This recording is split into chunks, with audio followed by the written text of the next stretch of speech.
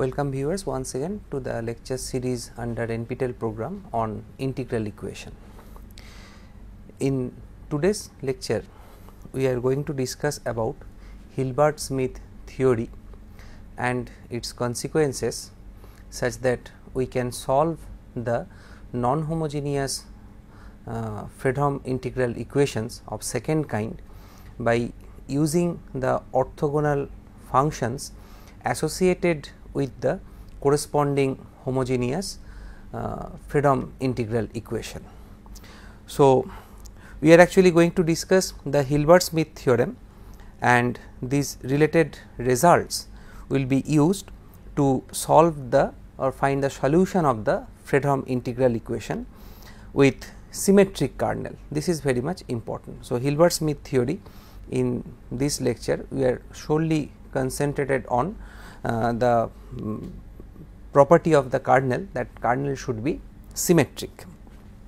So, before going to state the Hilbert-Schmidt theorem, I am not going to prove the result, but before going to state the theorem, we need some relevant results related with the eigen values and eigen functions for the given problem. So, first of all we consider that lambda n is the eigenvalues, these are eigen values and y n x denotes the associated eigenfunctions.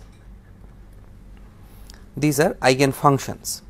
and these eigen values or eigen functions are associated with the integral equation y x equal to lambda integral a to b k of x comma s y s ds. We call this particular equation as number 1. So, this is a uh, Fredholm integral equation which is a homogeneous Fredholm integral equation and the kernel k x comma s is symmetric that means it satisfies the property k x comma s is equal to k of s comma x. Now, we state certain results related with these eigenvalues and eigenfunctions. First of all, the eigen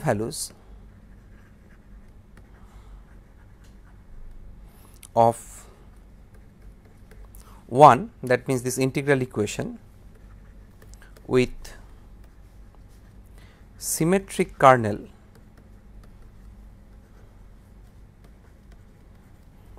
are real.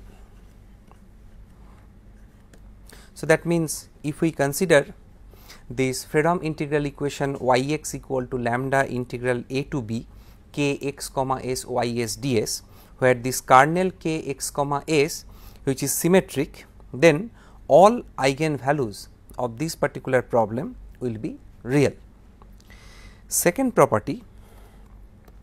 if y m x and y n x are eigen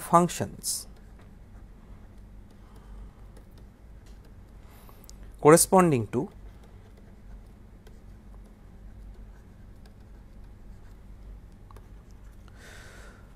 to distinct eigenvalues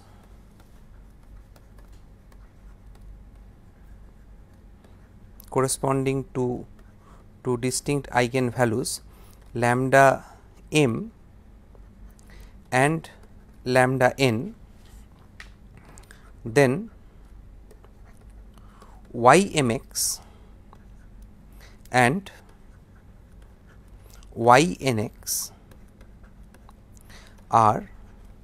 orthogonal to each other.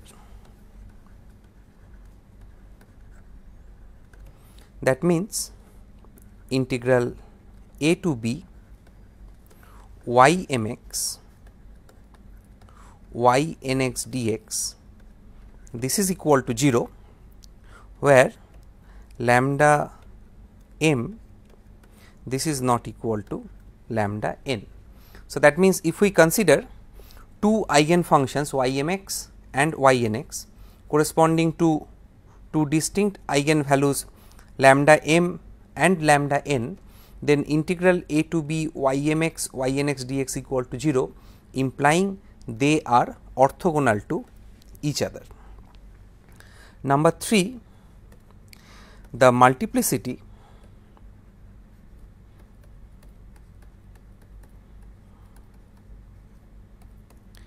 m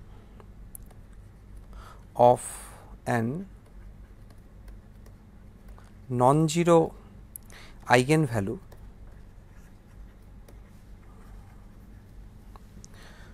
is finite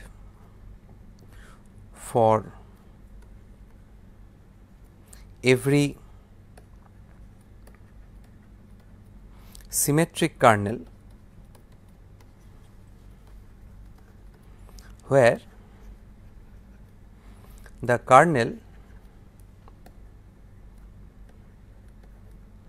k x comma s is square integrable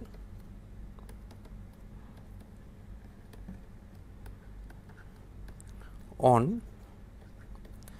the square a comma b cross a comma b. So, that means if the kernel is symmetric and square integrable over the square a comma b cross a comma b, then every non-zero eigenvalue uh, having multiplicity m, then this multiplicity should be a finite quantity. Now, with this and some other related results regarding the completeness of this set of uh, eigen functions, we can find out the orthogonal expansion or Fourier expansion of the kernel k x comma s in terms of the eigen functions. So, first of all we can write that k x comma s can be written as summation n runnings from 1 to infinity gamma n y n x where this gamma n is defined by integral a to b k of x comma s y n x dx divided by integral a to b y n square x dx. Now, uh, this representation can be simplified if we use the orthonormal eigen functions instead of set of orthogonal eigen functions y n x. So, if we define phi n x is equal to y n x divided by square root of integral a to b y n square x dx, then we can easily verify that integral a to b phi n square x dx this is equal to 1 and therefore, we can expand this kernel k x comma s in terms of these orthonormal eigen functions phi n x. So, that means we can consider this set of orthonormal eigen functions phi n x n runnings from 1 to infinity. Now, based upon all these observations and other related uh, results, we can develop the Hilbert-Schmidt theorem and this Hilbert-Schmidt theorem is related with the expansion of f x that is the inhomogeneous part of the Fredholm integral equation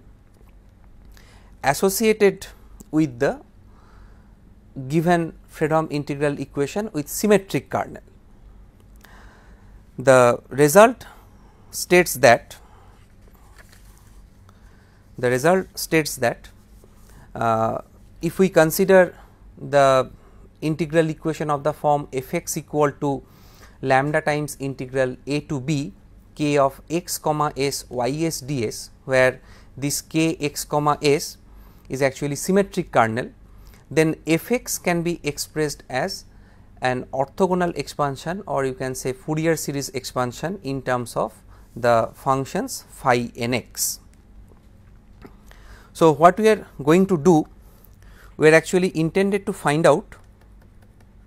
expansion of f x involved with the Fredholm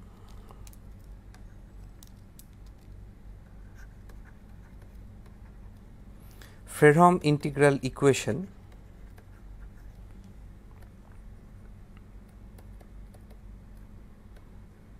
of the first kind with symmetric kernel which is given by f x equal to lambda integral a to b k of x comma s y s d s this is symmetric. So, that means it satisfies the condition this one in terms of the orthonormal eigenfunctions phi n x and these phi n x is actually related by this formula that is phi n x equal to lambda n integral a to b k of x comma s phi n s d s. So, that means these phi n x they are the eigen functions and lambda n they are the eigen values of the uh, Fredholm integral equation that is y x equal to lambda integral a to b k of x comma s y s d s. So, with these aids we can now state the Hilbert Schmidt theorem.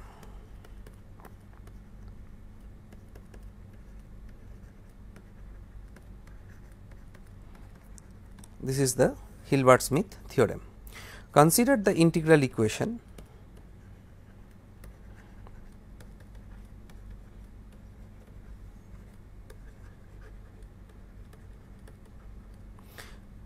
f x equal to lambda integral a to b k of x comma s y s d s with symmetric kernel k x comma s is equal to k s comma x where f x is square integrable. On the closed interval a less than equal to x less than equal to b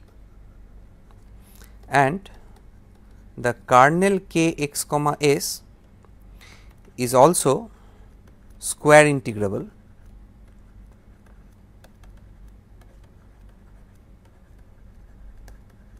Is also square integrable in the square a comma b cross a comma b, then the function f x can be expressed as f x can be expressed as f x equal to sigma n runnings from 1 to infinity alpha n phi n x we call this particular series as 2 where alpha n are obtained from this formula integral a to b f x phi n x dx. And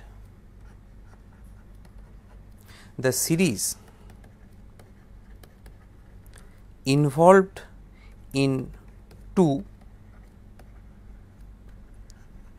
converges absolutely and uniformly. This is actually Hilbert-Schmidt theorem. So, if we just go through this theorem again. So, first of all we are going to express f x which is involved with the Fredholm integral equation of first kind with symmetric kernel in terms of the set of orthonormal eigenfunctions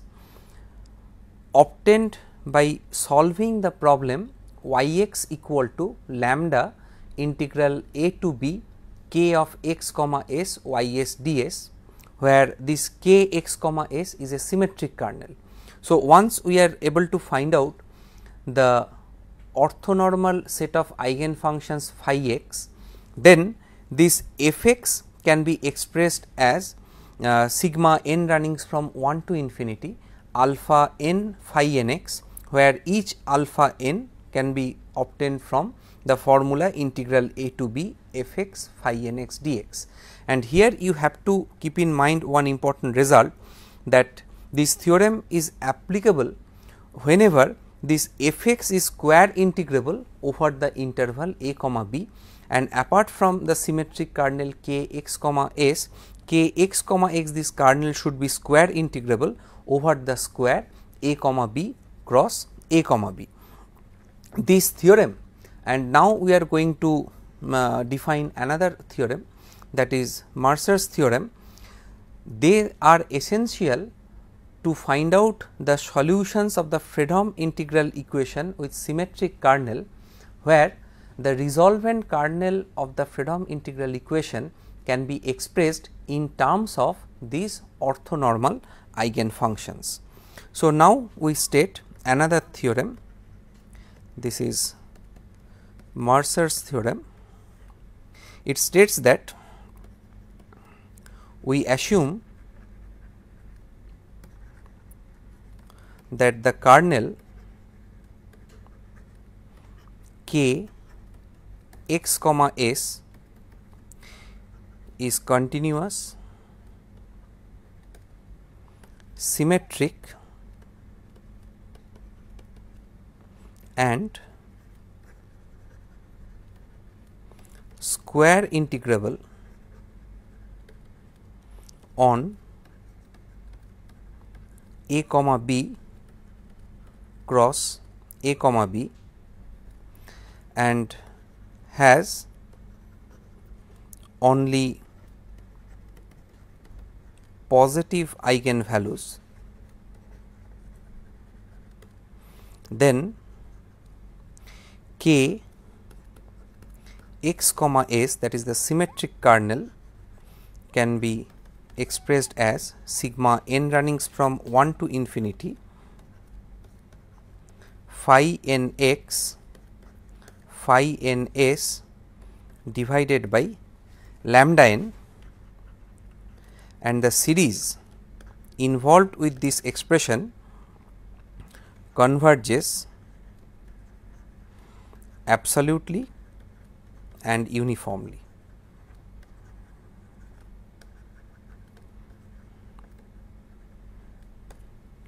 So, that means using two theorems we can obtain the orthogonal series expansion or Fourier series expansion for f x and the kernel k x comma s. Now, using this result now we can find out the solution of the Fredholm integral equation with symmetric kernel.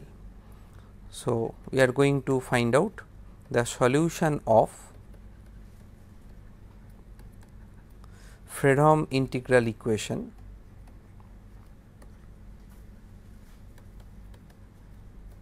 of second kind with symmetric kernel.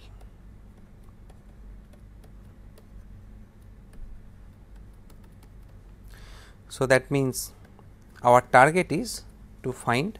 the solution of this equation y equal to f x plus lambda integral a to b k of x comma s y s ds and in order to find out solution of this particular problem first of all we have to calculate the orthonormal eigenfunctions from the associated homogeneous problem that is y x is equal to lambda integral a to b k of x comma s y s ds. Actually, the resolvent kernel are x s lambda corresponding to the symmetric kernel k x comma s can be expressed as the set of orthonormal eigenfunctions phi n x corresponding to the set of eigenvalues lambda n associated with this homogeneous Fredholm integral equation. The resolvent kernel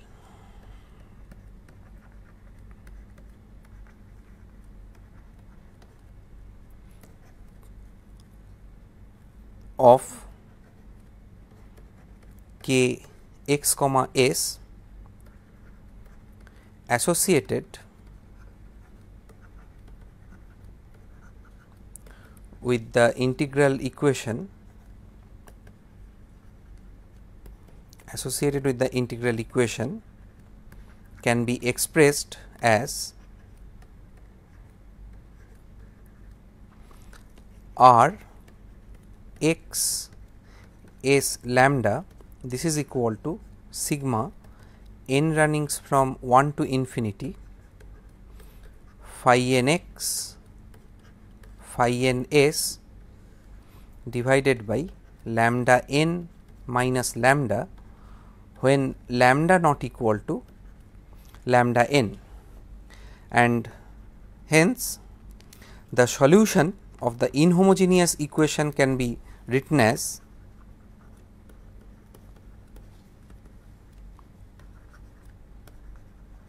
solution of the inhomogeneous equation is y x is equal to f x plus lambda sigma n runnings from 1 to infinity alpha n phi n x divided by lambda n minus lambda where where alpha n is integral a to b f x phi n x dx. Now, we can try to derive this result using the Hilbert Schmidt theorem and other notations we have introduced earlier that is we need the definition for this alpha n actually and then we can find out the solution to the uh, integral equation. So, given equation is y x equal to f x plus lambda integral a to b k of x comma s y s ds. Now, if we define the function g x equal to y x minus f x, then this given Fredholm integral equation inhomogeneous Fredholm integral equation of second kind can be put into the form that g x equal to lambda integral a to b k of x comma s y s d s. Now, for this problem we can apply the Hilbert Schmidt theorem. So, according to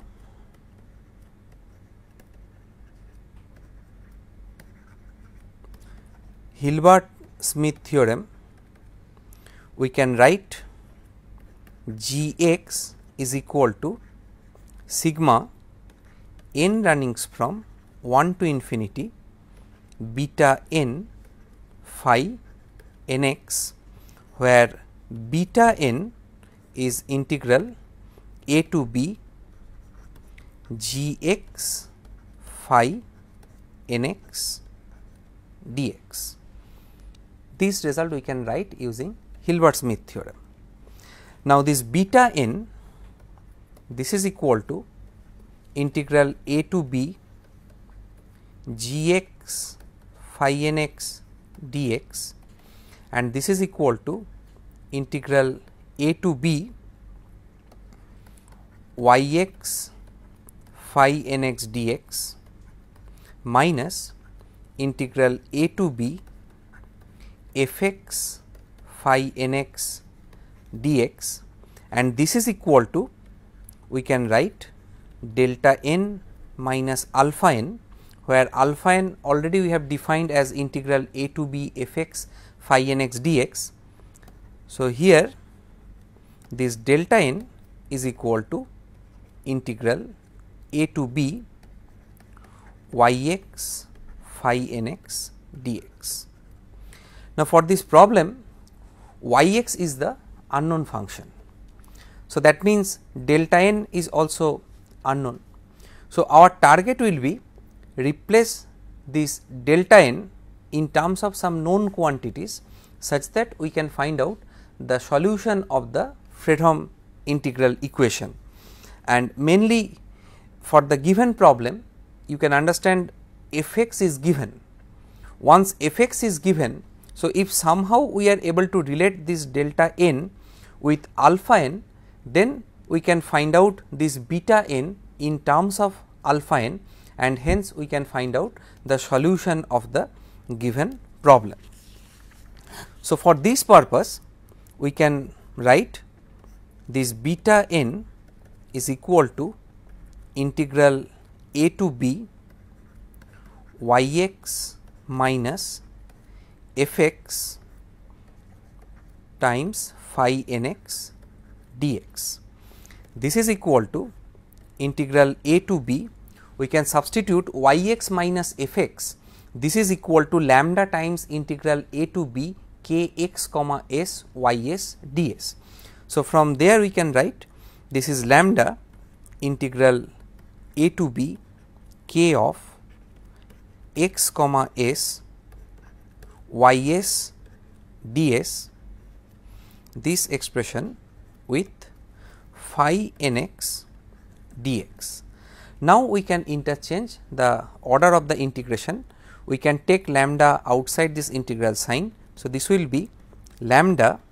integral a to b y s then integral a to b k of x comma s phi n x dx ds and this is a very crucial step because we are already familiar with the expression that phi n x is equal to lambda integral a to b k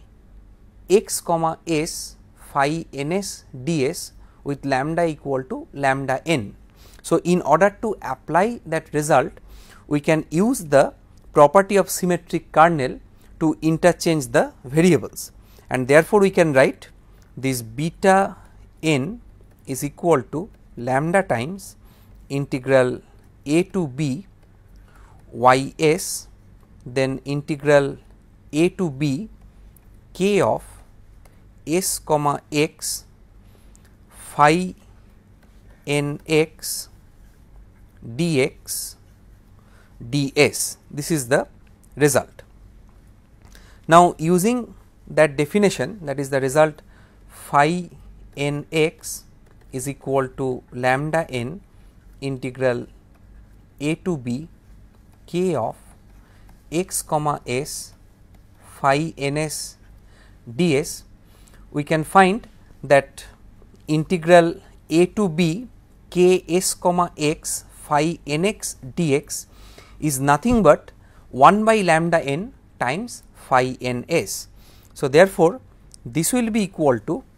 lambda times integral a to b y s the expression under the square bracket will be simply phi n s divided by lambda n d s. So, this is equal to lambda divided by lambda n integral a to b y s times phi n s d s this one. And this is equal to lambda divided by lambda n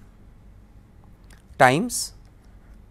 delta n because we have used the notation integral a to b y x phi n x dx equal to lambda n. And from here we can write delta n this is equal to lambda n divided by lambda times beta n. And therefore, beta n is equal to delta n minus alpha n equal to lambda n by lambda beta n minus alpha n this implies beta n this is equal to lambda divided by lambda n minus lambda times alpha n. So, we have obtained this beta n and hence this g x is equal to sigma n runnings from 1 to infinity beta n phi n x. So, that is equal to lambda sigma n runnings from 1 to infinity alpha n divided by lambda n minus lambda times phi n x and therefore, using g x equal to y x minus f x from here we can write y x this is equal to f x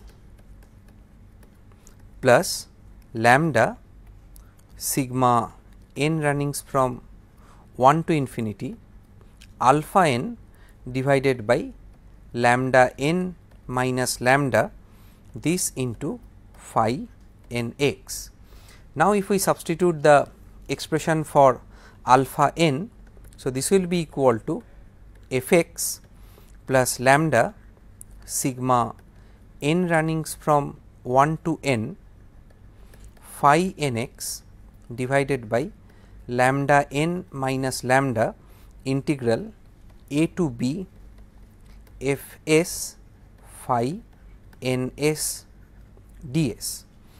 Now, already we have discussed about the uniform convergence of this particular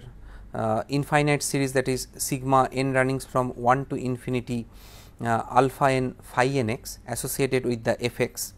and therefore, interchanging the summation and integral sign we can write this is equal to f x plus lambda integral a to b f s then summation n runnings from 1 to infinity phi n x phi n s divided by lambda n minus lambda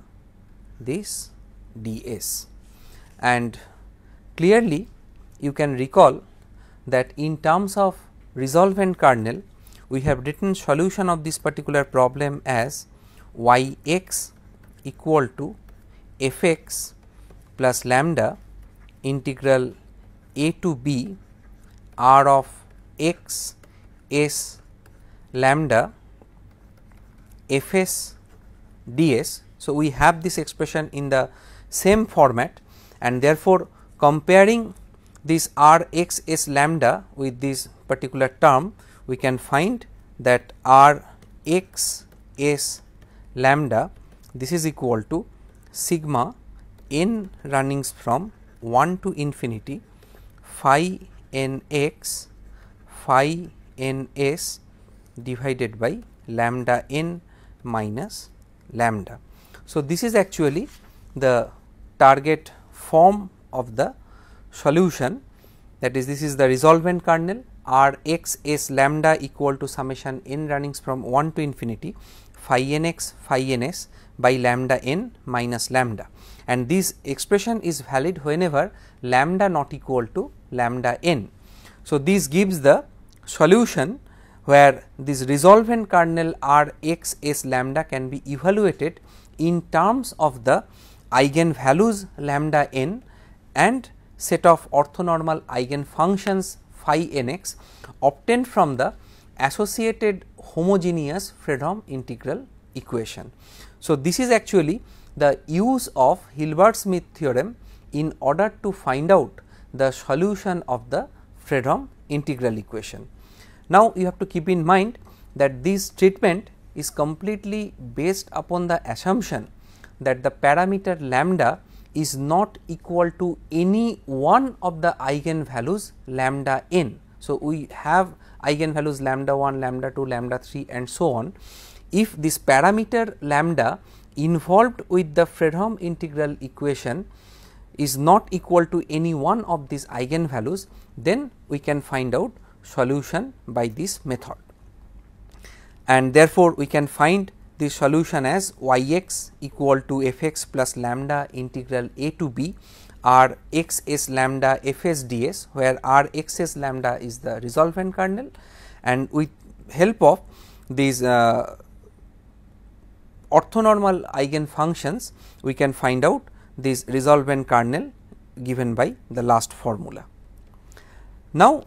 we consider the case that if lambda is equal to some of the eigenvalues say lambda k plus 1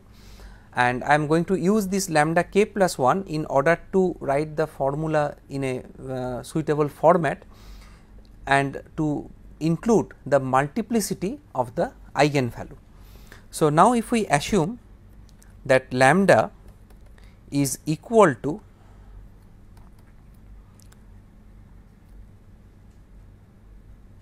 any eigenvalue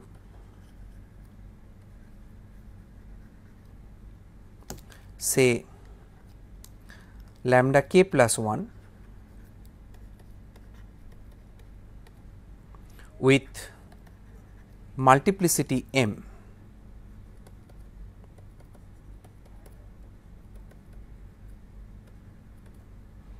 then for lambda equal to lambda n is equal to lambda k plus 1, the coefficient that is lambda n by sorry alpha n by lambda minus lambda n is not defined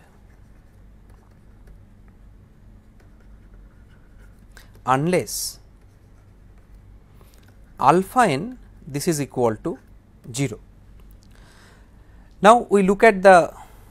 result alpha n equal to 0 this actually implies integral a to b f x phi n x dx this is equal to 0. So, that means for lambda equal to lambda n equal to lambda k plus 1, the function f x is orthogonal to the associated eigen function phi k plus 1 x. If this happen and uh, this alpha n equal to 0, then the quantity alpha n divided by lambda minus lambda n this becomes indeterminate when lambda is equal to lambda n and therefore, the condition alpha n equal to 0 leads us to the case that alpha n becomes an arbitrary quantity. And therefore, if f x is orthogonal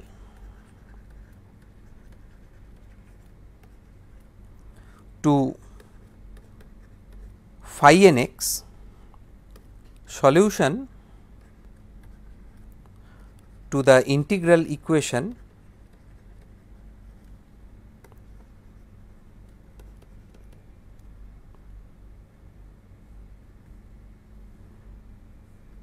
does not exist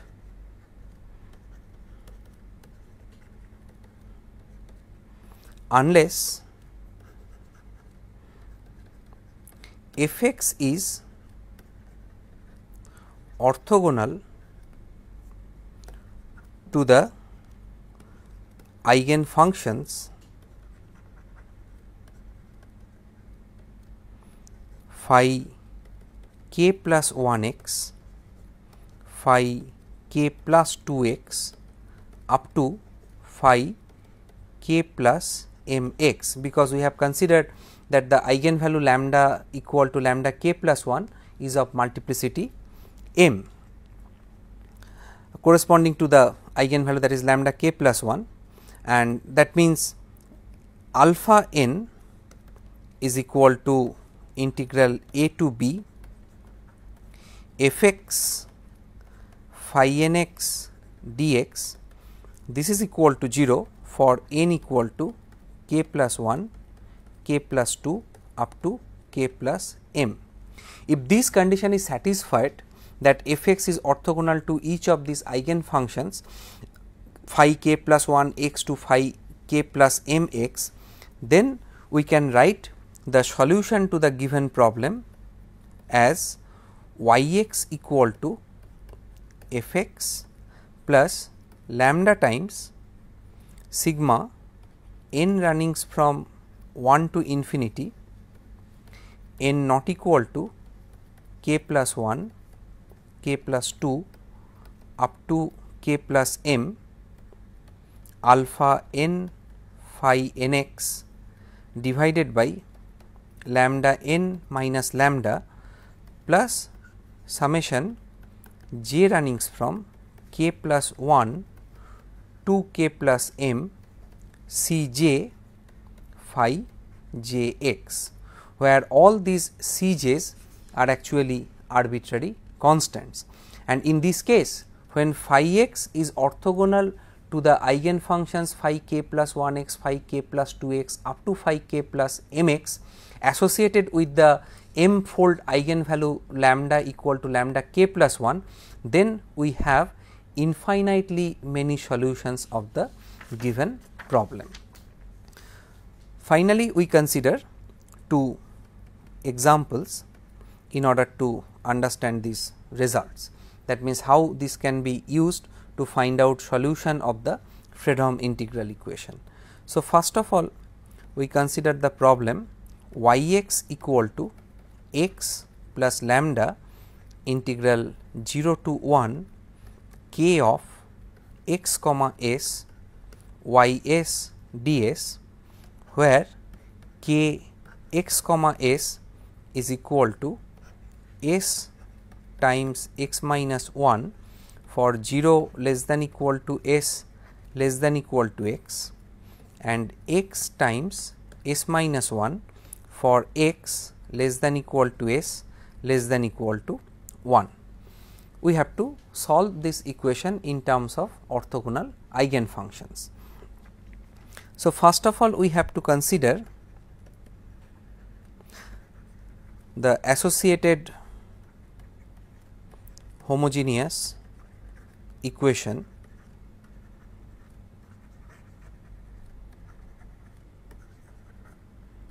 that is y x equal to lambda integral 0 to 1 k of x comma s y s ds. Earlier we have discussed how this type of problem can be converted to boundary value problem. So, using the same tricks and the form of the kernel k x comma s differentiating this equation twice you can convert this problem to a boundary value problem which is defined by y double dot x minus lambda y x. This is equal to 0 with the boundary conditions y 0 equal to 0 and y 1 this is also equal to 0 and using the standard procedure of eigenvalue eigenfunctions for this particular problem you can calculate the eigenvalues of this particular problem exist whenever lambda is negative. And in particular the eigenvalues are given by lambda n equal to minus n square pi square n equal to 1, 2, 3 and so on. And the corresponding eigenfunctions y n x is equal to sine of n pi x where n equal to 1, 2, 3 and so on. And for these eigenfunctions y n x is equal to sine n pi x, we can calculate the corresponding set of orthonormal eigenfunctions that is phi n x this will be root 2 sine of n pi x.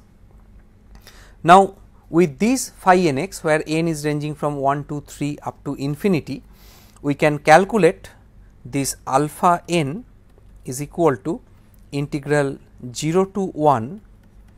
f x phi n x dx. For the given problem the non-homogeneous part is x. So, therefore, f x equal to x. So, this is equal to root 2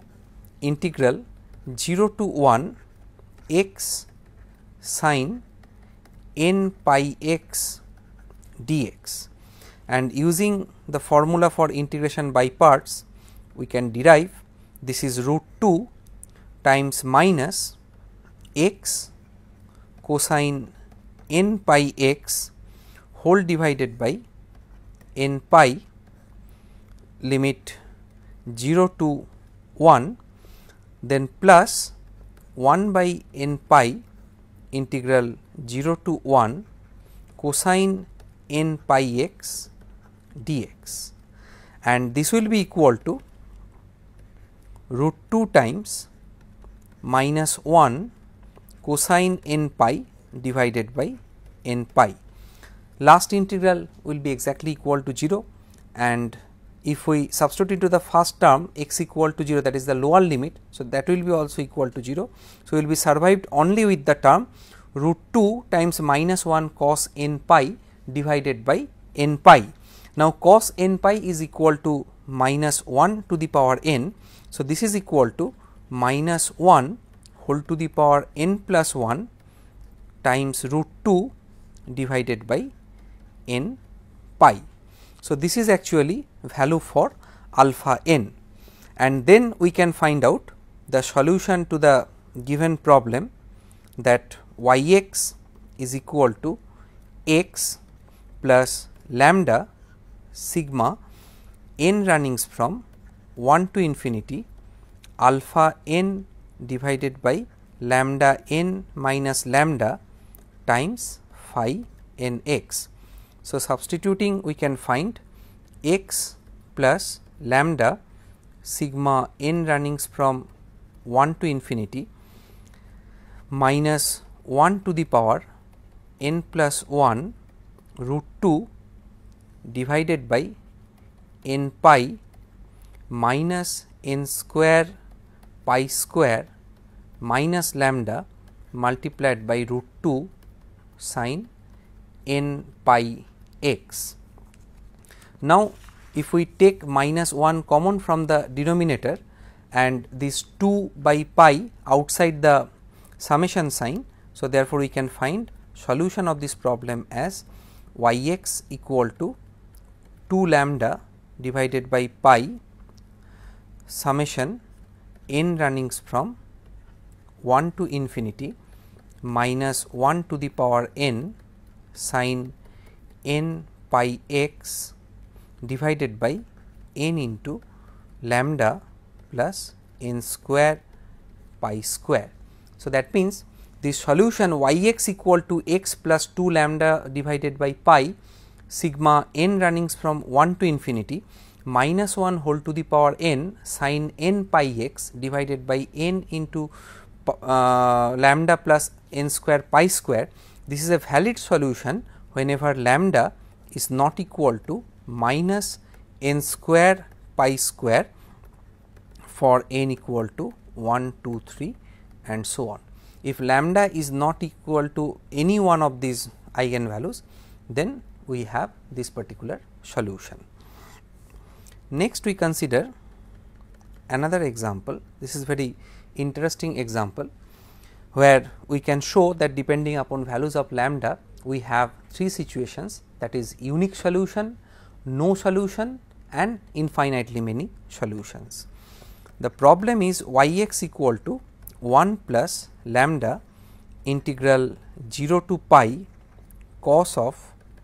x plus s y s ds. So, first of all we have to find out eigen values and eigen functions for y x equal to lambda integral 0 to pi cos of x plus s y s ds and using the procedure of separable kernel we can calculate the eigenvalues and we can we can recall that we can rewrite this expression as cos x integral 0 to pi cos s y s ds minus sin x integral 0 to pi sin s y s ds and then defining this first integral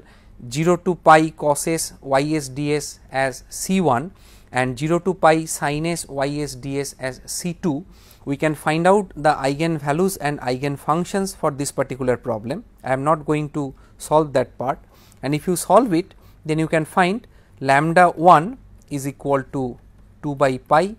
and lambda 2 this is equal to minus 2 by pi and associated eigen functions will be y 1 x this is equal to cos x and y 2 x this is equal to sin x. So, these are eigen values and eigen functions. Now, if we use the um, orthonormalization condition then we can find orthonormal eigen functions that is phi 1 x is equal to root over 2 by pi cosine x and phi 2 x this is equal to root over 2 by pi sin x. And from here this phi 1 and phi 2 we can calculate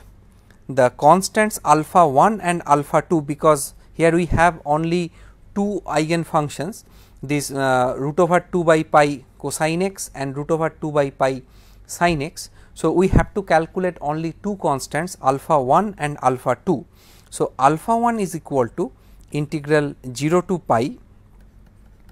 f x phi 1 x dx this is equal to root over 2 by pi integral 0 to pi cosine x dx this is equal to 0 and alpha 2 this is equal to integral 0 to pi f x phi 2 x dx. So, this is equal to root over 2 by pi integral 0 to pi sin x dx this is equal to 2 into root over 2 by pi. So, with this result case 1 if we consider that lambda not equal to lambda 1 comma lambda 2 then y x will be equal to f x plus lambda sigma n equal to 1 to 2 alpha n divided by lambda n minus lambda phi n x. Now, alpha 1 is equal to 0 and alpha 2 we have obtained here. So, after substituting you can find this is equal to 1 minus 4 lambda divided by 2 plus lambda pi times sin x. This is the unique solution to the given problem when lambda not equal to either lambda 1 or lambda 2. Case 2 if lambda equal to lambda 2 is equal to minus 2 pi and as alpha 2 not equal to 0 hence the given equation given integral equation possesses no solution. There is no solution for this problem. And case 3, if lambda equal to lambda 1 is equal to 2 by pi, alpha 1 equal to 0 and in this case problem have infinitely many solutions, those are given by y x equal to f x plus c 1 phi 1 x plus lambda divided by lambda 2 minus lambda alpha 2 phi 2 x. And this will be equal to 1 plus c cos x minus 2 by pi sin x. This c is the arbitrary constant. So, this is your infinite number of solutions. So, with this example we have explained that depending upon lambda whether it is equal to lambda 1 or lambda 2 and if these are not equal to either of these eigen values of the problem then we have unique solution. If lambda equal to lambda 2 then the given problem does not possess any solution and in case of lambda equal to lambda 1 then we have infinitely many solutions. So, this illustrates the method we have described to find out the solution of the Fredholm integral equation with the help of Hilbert Schmidt theory. So, I can stop this lecture at this point here. Thank you for your attention.